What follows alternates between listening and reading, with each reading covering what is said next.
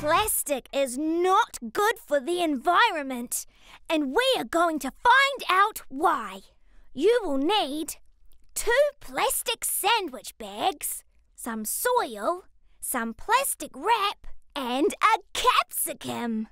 Fill each sandwich bag one third full with soil. Now put half of a capsicum into one of the bags and seal it. Take your other piece of capsicum and cover it with plastic wrap. Then place it in the other bag.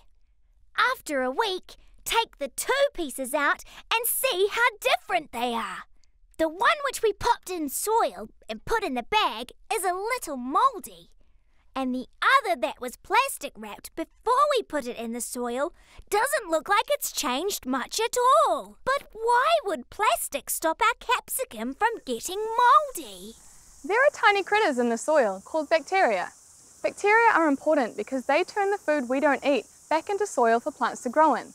But bacteria can't eat plastic, so when we throw away plastic, it sits around for years and years.